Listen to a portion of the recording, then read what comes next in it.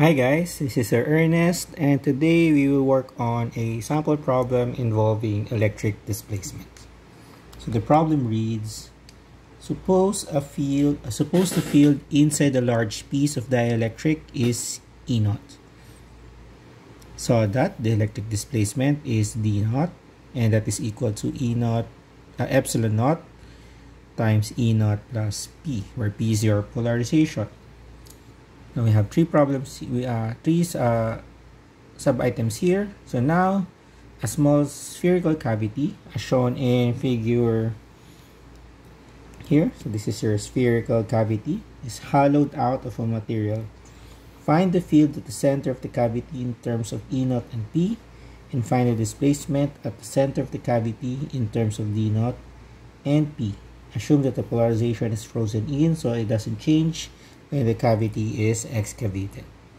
Okay, so here, so we also do the same for a long needle shape cavity running parallel to P. This is your P. And do the same for a thin wafer shape uh, cavity perpendicular to P.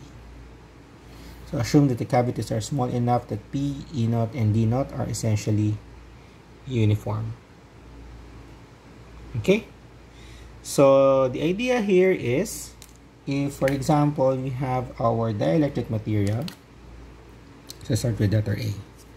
So let's say this is our dielectric material.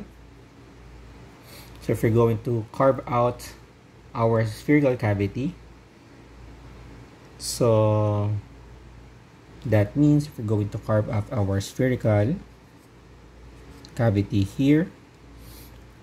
Okay so the idea is the when you carve out this cavity it's the same as superimposing an object with an opposite with the same shape but opposite in polarization. So for example in this case the polarization in this dielectric material is in this direction just like what I mentioned earlier.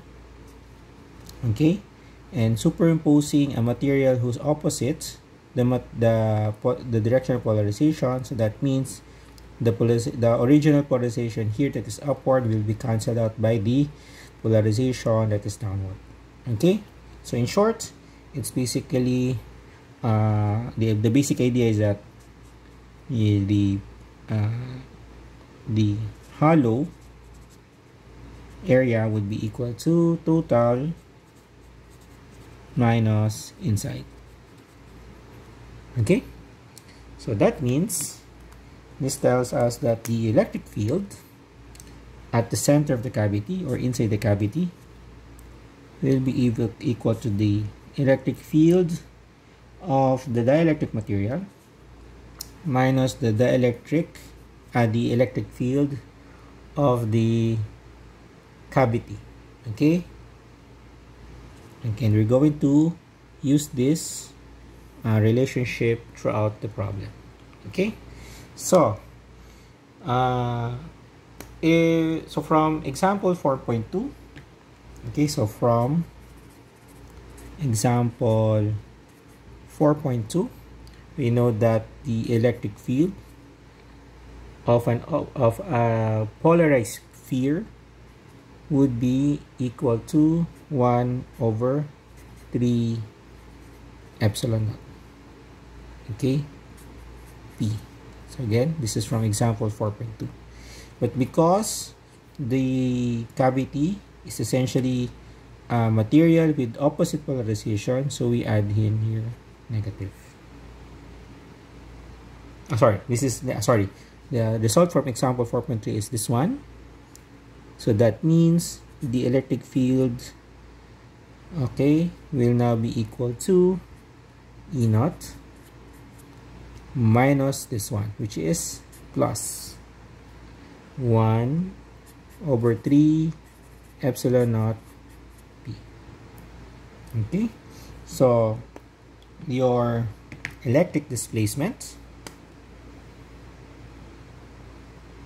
Okay so your electric displacement will now be equal to d equals epsilon e which is equal to uh, epsilon naught times E naught plus 1 over 3 epsilon naught P. Okay, so distributing this one, you have epsilon naught E naught plus 1 third. But because D naught is epsilon naught plus P, so therefore epsilon naught E naught would be D naught minus P. Okay, so this is now equal to um, D naught minus P. Then plus one third. So therefore, the electric displacement is now equal to D naught minus 2 thirds. Okay, so this is now the uh, this is now the electric field. Okay, at the center of the cavity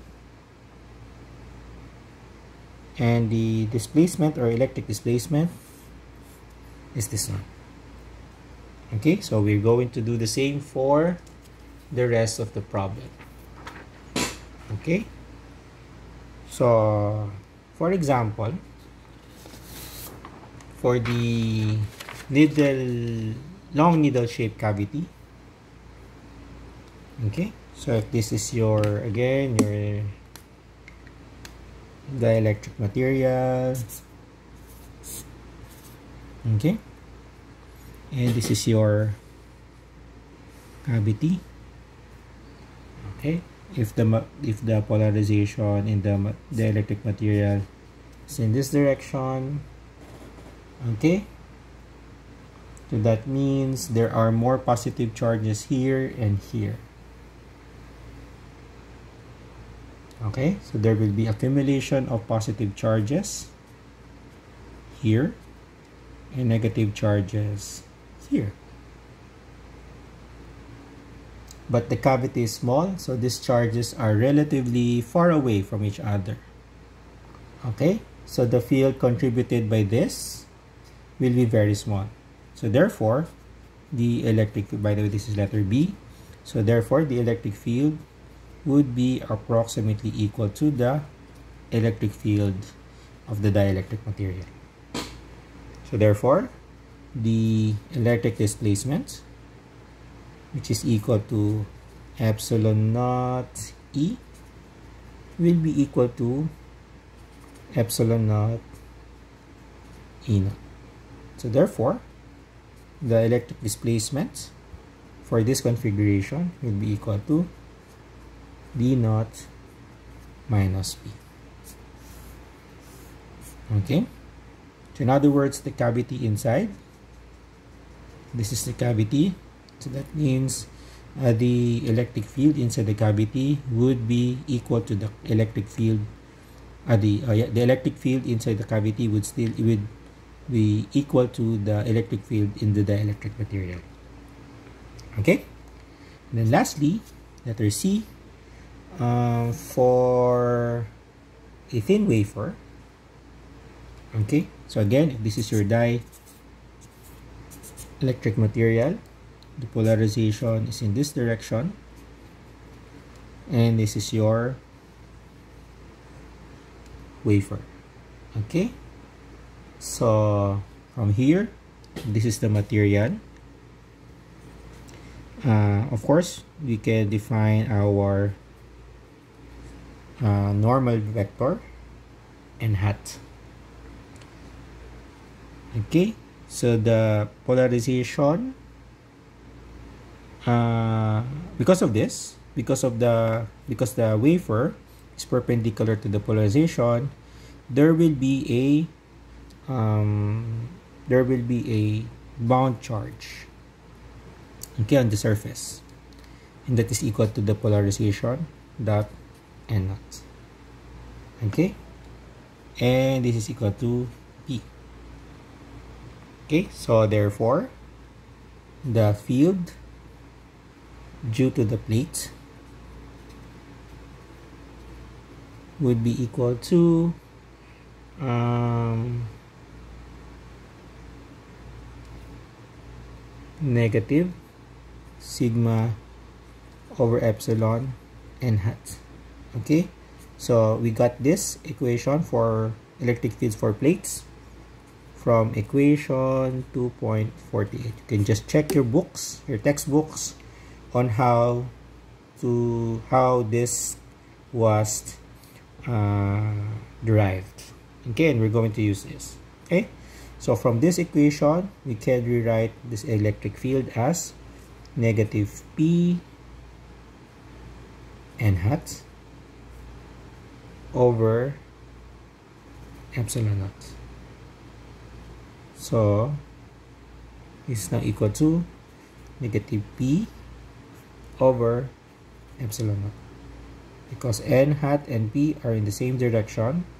So basically this is uh, is actually the polarization vector. Okay? So therefore from here we can now rewrite the electric field for the cavity and that is equal to E naught the electric field in the material minus the electric field for the plate. Okay so grouping everything together we now have the electric field will be equal to E naught plus P over epsilon and the dielect and the electric displacement which is epsilon naught E now be equal to epsilon naught E plus P which is what? Which is D naught.